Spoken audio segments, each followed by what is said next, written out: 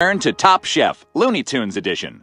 Okay, Chef Fudd, I was a little disappointed in you this week. Your dish was just a live rabbit who thought he was taking a bath. But I used carrots and celery. Yes, I saw he was scrubbing his back with a long celery stalk. Chef Sylvester, on the other hand, I'm happy to say your suffer and succotash was absolutely delicious. Thanks.